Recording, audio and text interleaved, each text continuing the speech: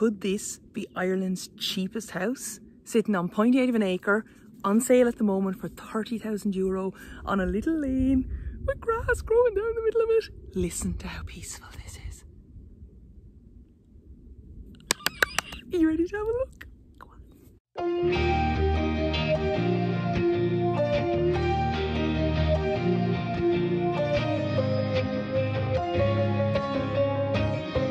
Okay, we're in. So, what have we got?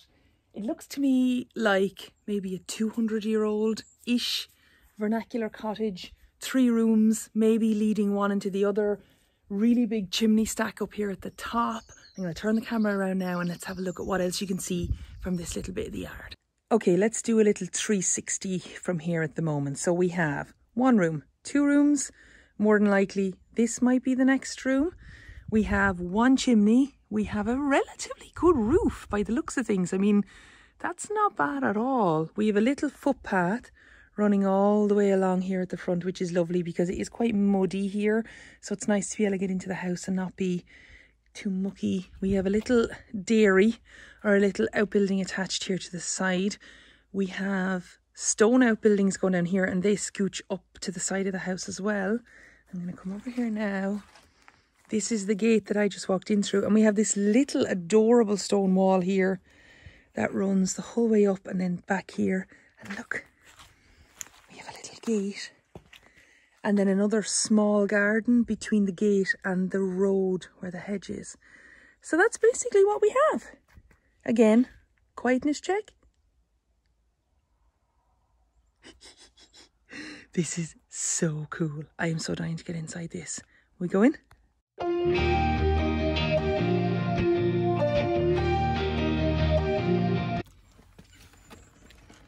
Okay.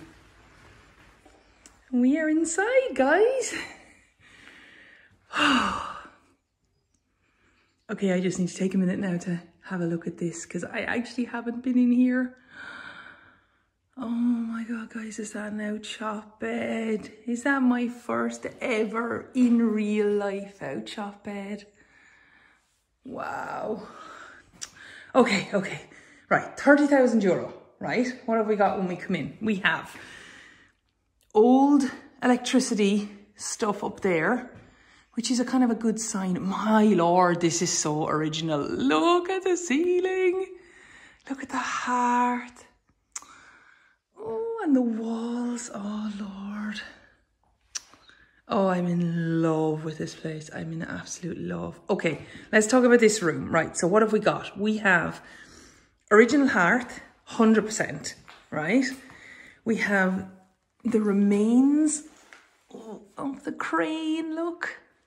Now, looking at this, I'd say the two walls here are the original width but if you actually look up, that crane goes up a lot higher than this front piece here. So we have a little look maybe if you buy it and see does that maybe, let me stand back a bit, does this piece here maybe open up a little bit higher? I'm not sure. That is one hell of an original overmantel. Ah, look at it. Hello. look. Okay, I'm going to try and not get way too distracted in this place because this is literally my dream house. okay, so what have we got? Let me see. Okay, we have little built-ins here and I swear when I tell you I have never, ever, ever seen one of these in real life. I'm not lying. Look at that this is your outshot bed or your hag bed or your cailleach. And basically what you're looking at here is where this line is here, there would have been a bed built into that little nook and somebody could have slept there that was maybe in more in need of the heat and a bit of care and a bit of company than maybe having them sleep in one of the other rooms of the house. This is one of the most endearing things you can see in an old cottage. And this makes me want this so bad. Oh, okay, let me see. Right, double height on the ceilings. which is really cool. And they're still up there. I mean, there's a fairly large amount of cobwebs up there, but they are quite dry and they haven't opted to put a little lofted upstairs in it, which is totally cool. It actually makes this room feel so awesome and so big. So we have the door I came in through, little room leading off there, maybe a back extension there. I'd say that used to be the back door back in the day. Let's have a peep into this room here.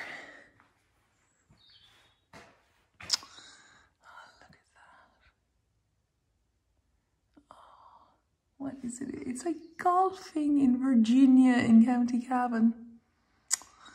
Honest to God, lads. And you see this little picture rail that goes all the way along? See here? And then it kind of starts back up again over that left-hand door. People weren't nailing pictures up all over the place in these houses. So what they would do is they would have these things called a picture rail and like this, you'd hang your little pictures on nails on this piece of timber, or you'd hang a chain and then you'd have a really big picture. Do you ever see those chains hanging on the back of the pictures? That's what these picture rails were for. And you can see if you look along them, there's nails all along and that's exactly what they were used for. Kind of storage, but also decoration. We have a fantastic washing line there. This place is so functional. I really want this place. Okay, right, into this room. So we've cement floors in this room too. So this is your front window, more really, really high ceilings. This is epic. This is literally the most epic thing. Okay, what have we got here? This is the room here. We have lovely original boarded doors and lovely old hardware on them. Mm. This is your room now. This is heaven. This is so awesome. And really bright. Like if you look at the proportion of that window to that wall at the front, this is very bright. It's about midday at the moment and the sun is beaming right in through the front windows of this place. Right. Oh, I still want this. Okay, what else have we got?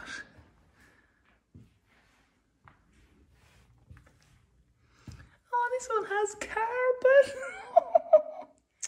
ah, bless. Just checking. so this would be maybe the sitting room. Now that little fireplace there is a very, very old little fireplace, but if you actually look at the plaster work around it, either it had a bigger hearth in there to start off with, or maybe it had a bigger fireplace. Something's been done there. I have no idea what it was, but it could just be as simple as maybe they replaced that fireplace with a smaller fire surround and they needed to tidy it up. But I mean, still quite functional two picture rails here. And they still went for this double height. There's no lofted area here at all. There is definitely the height to put something. I mean, even if you didn't do a full upstairs anywhere here, even if you just, you know, made a floor across here with a little ladder up to it and just had a little bed up there, it'd give you that bit of extra space. This is so nice. This is really nice. This seems like it's in quite good condition. More original doors.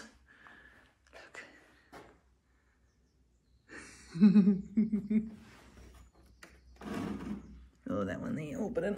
I'm not gonna force it. So what do you think? This in the big house. It's not big. Look at the drop on the light. That's so cool. Well, we have a look at this extension. So you can see with this door here, this is a definitely a more modern door.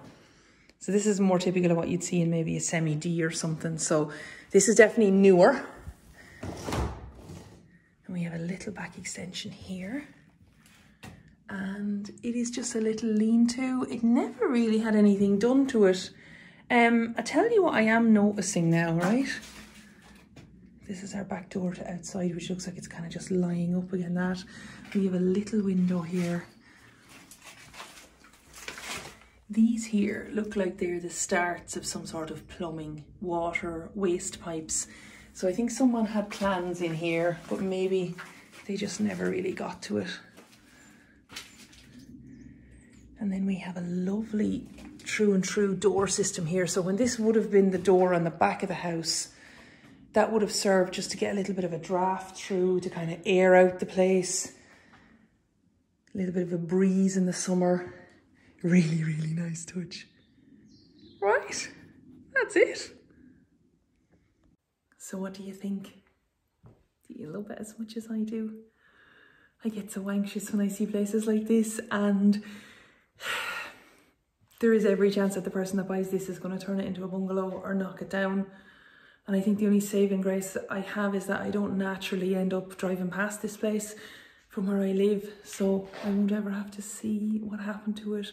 Please God, if you have any plan on saving a little house like this, will you please do it? Because I really don't want to see places like this gone. This has like that hearth, the little bed, just everything, the double height on the ceilings, the paneling, the picture rails, everything about this place is just so special and so much a part of our heritage and our culture and just please don't turn it into a bungalow, please.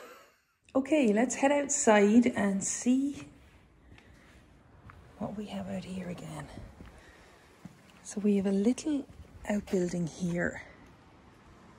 I call it the dairy, I suppose, because that's what I call my one at home. It has a fairly nice galvanised roof on it there. Nice big cement barges on the end of it. A little door. I mean, this looks quite intact.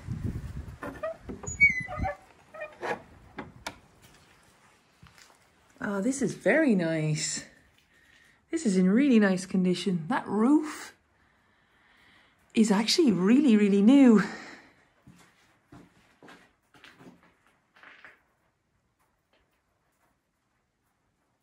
Now, what is that?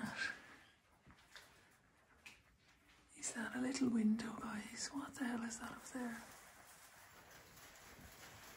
Look at that! I haven't clue what that is. So basically we have more cement floors. We have some little parts of the original windows here. I may be mistaken in thinking that's for cutting turf, but we don't really have a lot of turf in Wexford, so you can correct me on that if I'm wrong. I was wrong once before. And then back out to this little door. I think it might actually be raining. Ugh. so look at your little view. Now, I think while I'm in here, and it's raining a little bit outside. I'm just going to flip around because I want to have a chat to you about how useful this building is. Okay, so here's the thing I want to talk to you about this building for. This building is attached to the main house. Now, it's quite a large size room, you know? And if you look at this wall here behind me, if you could get a builder to knock a doorway in that wall, you could very easily add another room onto your house without too much expense. I mean, it's here, it's standing, it's made of stone similar to the main house. So you do have those options. Now, there are no windows in it at the moment, but I mean, a couple of skylights up there in the back of that wouldn't be a massive job when you're insulating it. And you would have another bedroom on that house, which would be a really, really big thing. Yeah? Would you do it? Of course you would. Okay, so apart from our dairy that we have here, we also have quite a lot of outbuildings. So I'm just going to go through these one at a time. Let's just start counting, right?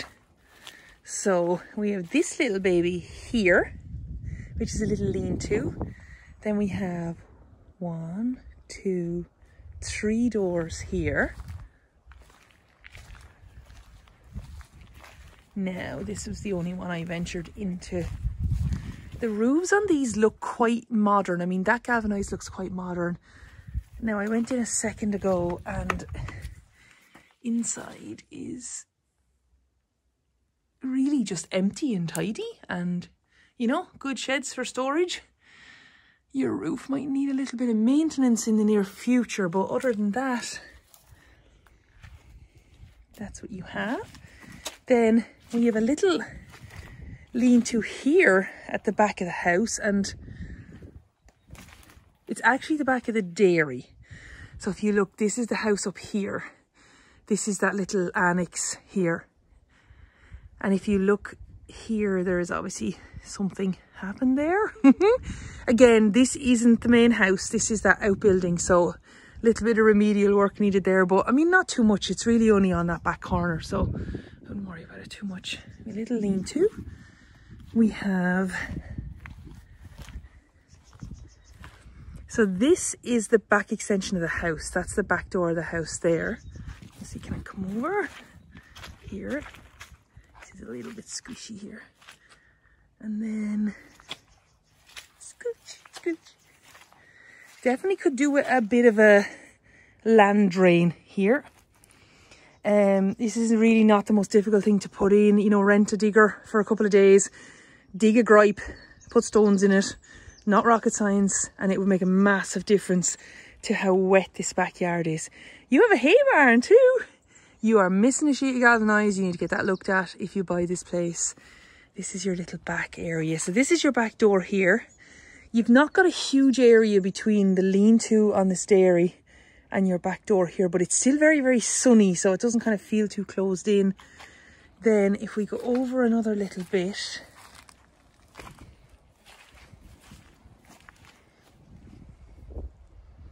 That is the outshot. That's your little outshot bed there. Let's see if we can go a bit further. Ooh. I'll just turn back around. Have a little look-see. So, that's your outshot here. You have your little extension. And we actually even have a block built shed here. I mean, there are a lot of outbuildings here. And then you come back down to your little barn. I'm going to go up now and we'll have a look at this here. But what I'm going to do is maybe just walk around the front of the house to get up to it.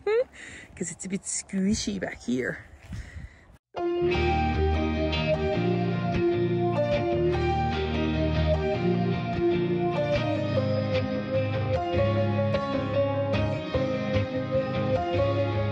So this building here, right?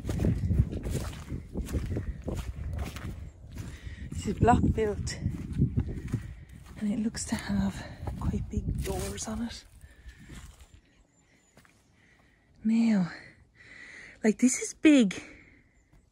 If you surpassed even the contents, this is fairly modern roof.